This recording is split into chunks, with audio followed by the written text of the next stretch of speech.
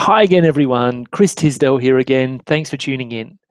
In this presentation, I'm going to share with you some ways to end a proof in mathematics.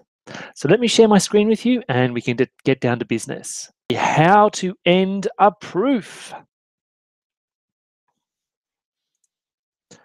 All right, so let's say we're doing some mathematics and we have finished a proof. What do we do to show that a proof has ended and we're going to move on to something else?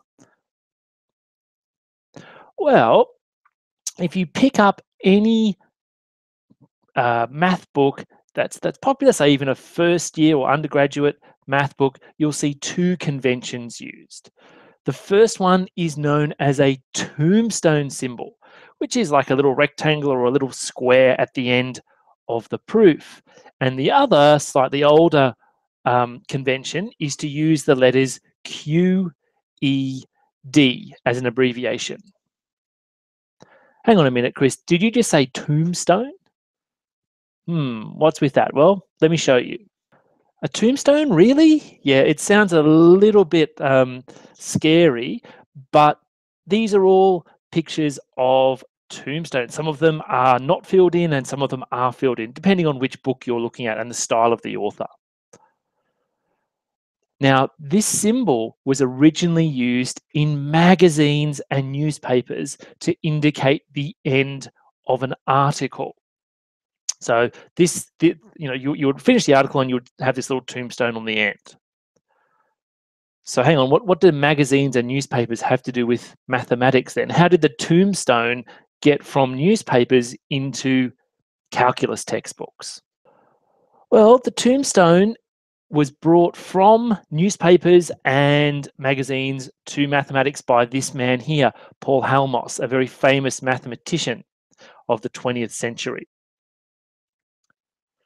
So he started using that symbol the tombstone symbol to indicate the end of a proof. And it spread and it spread and it spread.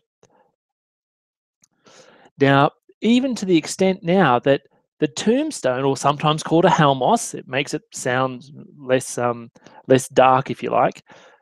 That the tombstone is now replacing the old QED, the quod erat demonstrandum, which is which is Latin for which had to be demonstrated. So Halmos's idea of this tombstone or the connection with this tombstone has really started to, to catch on now and you see it everywhere. And QED is, is sort of you know, less popular now than it was say uh, 50 or 100 years ago. A good question here is how do I end my proofs?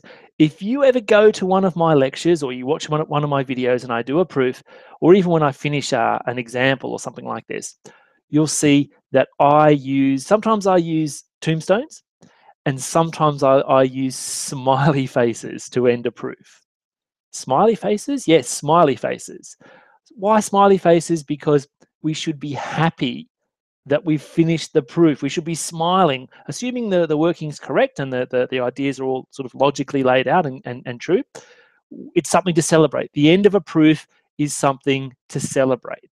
So I've got a fun kind of angle on on how I'd like to end proofs. And and you, if you go to my YouTube videos, you'll see this. Making math proofs more fun, you bet. Combine tombstones with smiley faces. So you've got tombstone plus smiley face at the end of the uh, at the end of the proof. What do you get? Well, you get a tombstone or a square smiley face. And that's the kind of thing that, that, that I like doing it makes it a bit more fun. It's it's less uh, less dark and dreary, like a like you you know maths is belongs in a cemetery. Um, but but I really like it. So what do you think? How do you end your proofs? What would you like to see at the end of uh, at the end of proofs? Thanks for watching, everybody. Have a nice day.